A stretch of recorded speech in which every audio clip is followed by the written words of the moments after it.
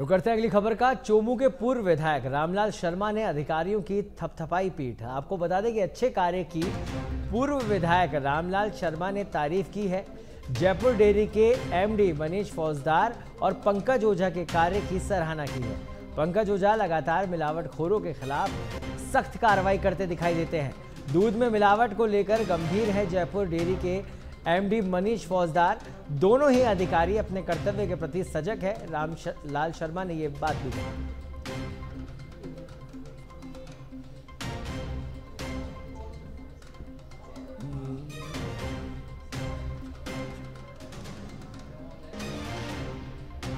तो जयपुर ज़िले की कई तहसील में रह चुके हैं अधिकारी मनीष फौजदार। जयपुर डेयरी के एमडी हैं मनीष फौजदार।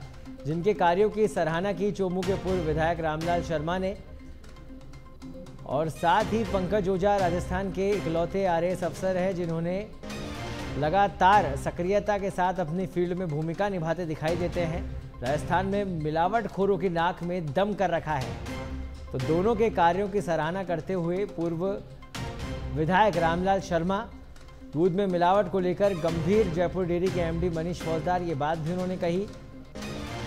फ़िलहाल दोनों ही अधिकारियों को शाबाशी दी, दोनों के कार्यों की उन्होंने सराहना की।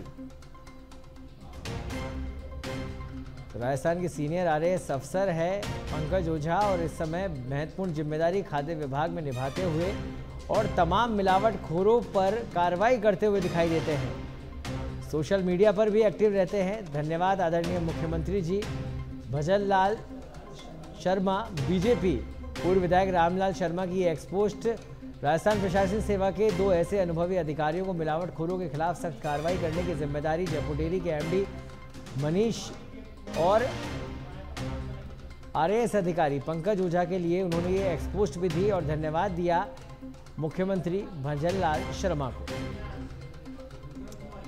एक्सपोस्ट पर दोनों अधिकारियों की तारीफ़ भी उन्होंने की और अधिक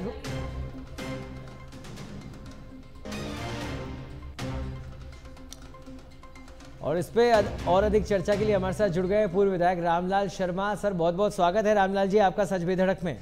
जी सौरभ जी धन्यवाद। रामलाल जी बेहद अच्छी बात है कि अच्छे कामों की सराहना समय पर की जाए तो औरों को भी प्रोत्साहन मिलता है और वो करके आपने दिखाया है। और साथ ही मुख्यमंत्री को भी इसका धन्यवाद दिया है। क्या कहना चाहेंगे आपकी प्रतिक्रिया सर? देखिए प्रदेश के यशस्वी मुख्यमंत्री भजन लाल जी का विजन है। मेरी पहली मुलाकात उनसे हुई थी तभी उन्होंने एक कमिटमेंट दर्शाया था इस बात का कि मिलावटखोरों के खिलाफ सख्त कार्रवाई सरकार करेगी। जी। और मेरे सामने उन्होंने उस अधिकारियों को निर्देश दिया था कि इससे कोई समझौता नहीं करना है। आप सख्त कार्रवाई करो और फ्रीडम के साथ करो। जी। जैसा कई जगह जो मैं भी क्योंकि ग्रामीण परिवेश से जुड़ा हुआ हूँ कई जगह से बात निकल कर आई थी कि अमुक क्षेत्र से इतना दूध हम्म। कलेक्शन हो रहा है। जब मनीष फौजदार को जयपुर डेयरी का एमडी लगाया गया उसके बाद धीरे धीरे धीरे दूध के अंदर गिरावट आई। और वो जहाँ दूध एक लाख साठ हज़ार लीटर दूध की आवक थी उस क्षेत्र से वहाँ घट के और वो साठ सत्तर हज़ार के ऊपर आके टिक जाना। और जब एमडी मनीष फौजदार का ट्रांसफ़र होता है तो वापस दूध की वृद्धि होना। जी। और जब ये ट्रांसफ़र कैंसिल होता है तो वापस दूध की गिरावट आना ये इस बात को साबित करता है कि जो गिरावट हो रहे हैं उनके मनसूबे इतने फलीभूत हो रहे हैं जिनके ऊपर अंकुश लगाना बेहद ज़रूरी है। बिल्कुल। मेरी सोच है एक व्यक्ति किसी दूसरे व्यक्ति के एक थप्पड़ मारता है उससे कोई बड़ा नुकसान नहीं होता लेकिन एक सौ इक्यावन में बंद करने की भी पुलिस कार्रवाई करती है तीन सौ तेईस तीन सौ चालीस में चालान भी पेश करती है। लेकिन जो। तो मिलावटखोर अप्रत्यक्ष रूप से आम आदमी को मार रहे हैं कैंसर जैसी बीमारियों को पैदा करने में सहायता कर रहे हैं तो ऐसे लोगों के खिलाफ सख्त कार्रवाई होनी चाहिए। और मैं तो ये कहूँगा कि सरकार यदि ज्वाइंट कार्रवाई करे पुलिस भी रहे मेडिकल हेल्थ डिपार्टमेंट भी रहे फ़ूड डिपार्टमेंट भी रहे ज्वाइंट कार्रवाई करे तो तत्काल कानूनी कार्रवाई होते हुए सजा मिले। तब। जाके इनके ऊपर अंकुश लग पाएगा नहीं तो इनके मंसूबों को रोकना बहुत मुश्किल है। बिल्कुल रामलाल जी बहुत सही बात कर रहे हैं और भी अधिक सख्ती की आवश्यकता है।